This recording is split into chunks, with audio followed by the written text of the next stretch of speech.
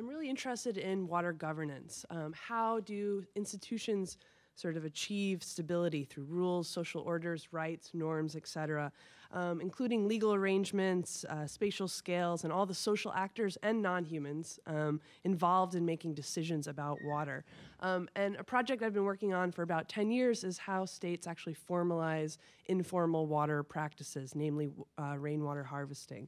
Um, and most recently, I've started a kind of global comparative study on this in the United States. Most of my work has been done in Mexico. Um, and it's really fascinating in the, to work in the US as a sort of native of the US um, and learn all sorts of funny um, uh, stories about institutions here and how complex it really is to manage water in the US. Um, so I'm going to start with a story. In August 2008, Utah officials informed Mark Miller, a Salt Lake City car dealer, that his cistern, which is an underground stor uh, storage tank for rainwater, violated state law. Who owns the rain? Turns out, not you. You're actually breaking the law if you try to capture rain falling under your roof and pour it on your flower bed. A prominent Utah car dealer found that out when he tried to do something good for the environment. John Hollenhorst has the surprising story. Rebecca Nelson captures rainwater in a barrel and she pours it on her plants. We can fill up a barrel in one rainstorm, so it seems a waste to let it just fall into the gravel. Car dealer Mark Miller wanted to do pretty much the same thing on a bigger scale. He collects rainwater on the roof of his new building, stores it in a cistern, and hopes to clean cars with it in a new water efficient car wash. But without a valid water right, state officials say he can't legally divert rainwater. I was surprised. Uh, we thought it was our water. State officials say it's an old legal concept to protect people who do have water rights. Obviously, if you use the water upstream, it won't be there for the person to use it downstream. Utah is the second driest state in the nation. Our laws probably ought to catch up to that. So what about the little guy watering with rainwater at home? Will anybody do anything about that violation of the law? If she really does do that, then she ought to have a water right to do it. Are you going to make an issue out of that? No, we have bigger fish to fry. After months of discussion, city and state officials worked out a tentative compromise with the bigger fish, Mark Miller Toyota. He would basically be using a Salt Lake City water right and diverting it um, under our name. Small fish are off the hook for now. The state has no plans to go after them. John Hollenhorst, Eyewitness News, Salt Lake City.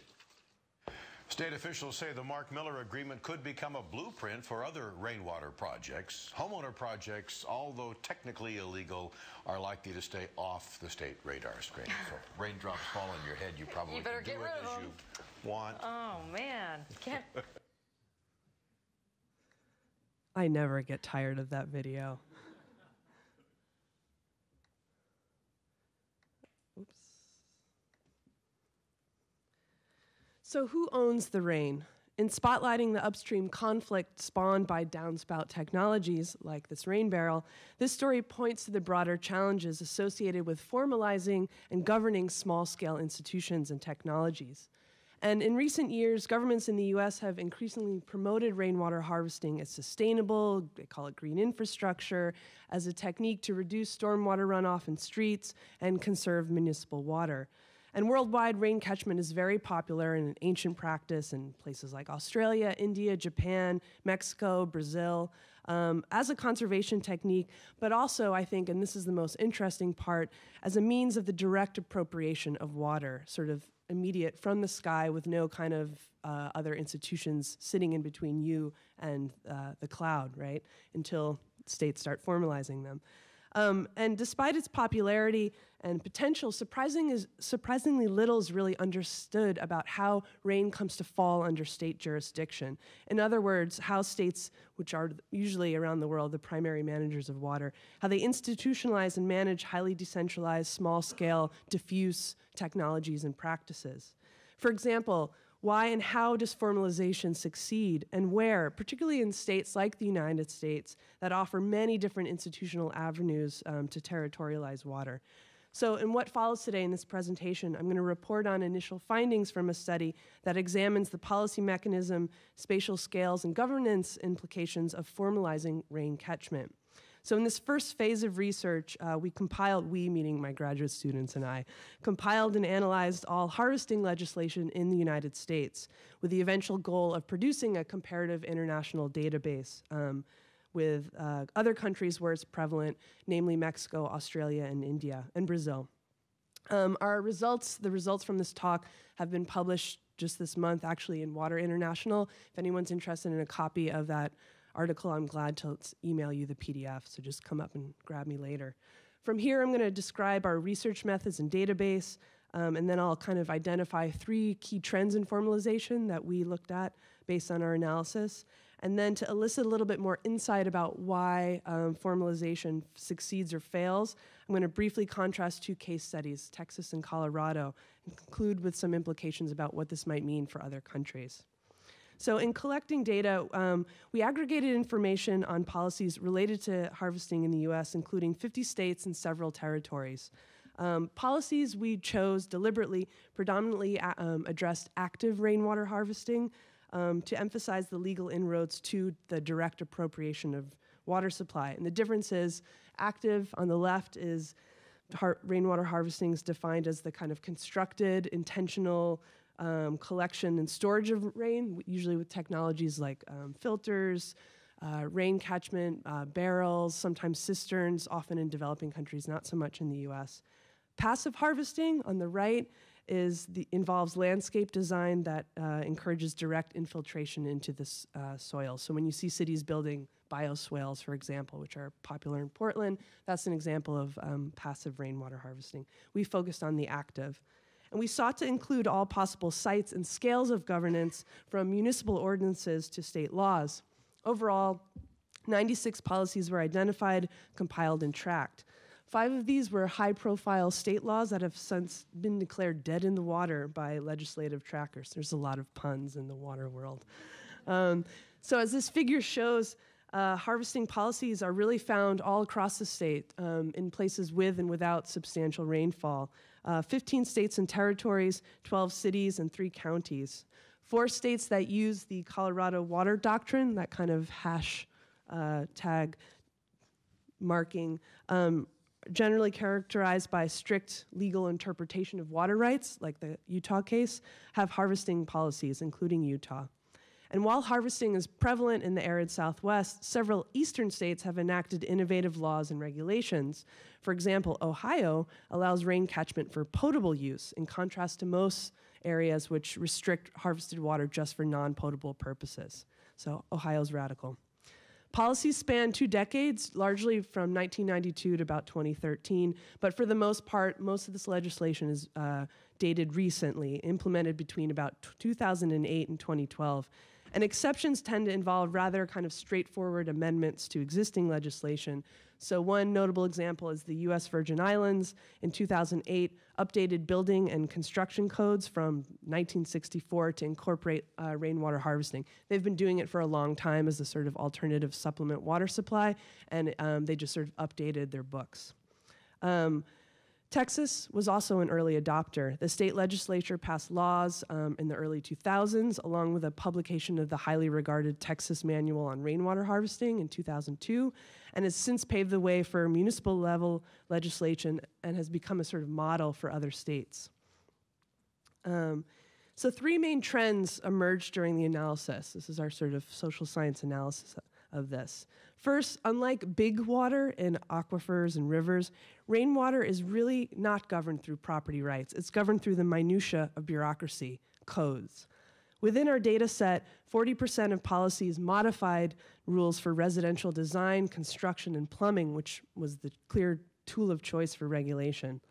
Most of the policies identified in this table involve revisions to code and statutes in some way. However, the 34 instances of revisions at the top represent standalone legislation. So not only modifying existing codes, but then out, going out there and creating new ones. And most policies regulate micro level harvesting systems, those ideally suited for single family homes. Some place, uh, policies, such as Illinois, Ohio, and Oregon, so go so far as to redefine plumbing and what it means, and make specific provisions for acceptable design, installation, and water use in rainwater systems. Um, while such codes seem very tiny and technical, collectively they represent a really interesting paradigm shift in governing water supply. Um, while the bulk of the quantity of surface and groundwater in the US is governed by either the riparian or prior appropriation doctrine or some blend of both, um, rainwater falls in the domain of administrative law, which is a direct product of historical urban development. Between 1880 and 1920, which was a period of dynamic urban growth in the US, cities implemented strict plumbing and construction codes in order to protect people, um, to protect urban dwellers from disease, public health threats, the result of you know, poorly designed engineering systems. In effect, though, now these codes have opened the front door for government regulation of water in the home in a very different way than through property rights. Um, yet, as rain is uh, um, increasingly uh, directly appropriated through downspouts and cisterns, like Mark Miller was talking about, and treated as property, like the whatever the little man or however they described it in the video. Harvesting is increasingly regulated through plumbing codes and not property rights. So people actually treat the resource and consider it as property, even though it's not that under most state laws. We also identified the process of formalization through market-based tools, the, most, the second most popular uh, form of regulation.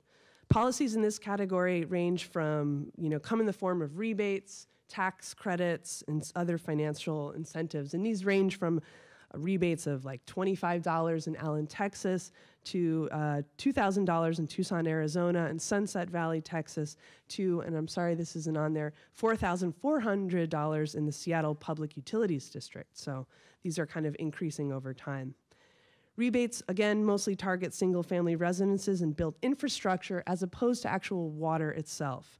Um, so it's uh, sort of the only way that governments can kind of track what sort of how water is being managed is through a kind of receipt from infrastructure.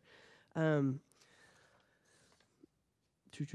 um, and at first glance, rebates and other financial incentives re reflect this kind of broader trend towards marketization, which is um, what social scientists describe as the uh, process of creating economic and policy infrastructure for treating natural resources as a commodity.